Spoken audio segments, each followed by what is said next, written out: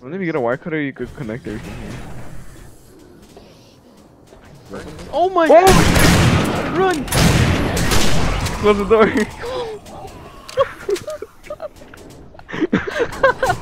Come here!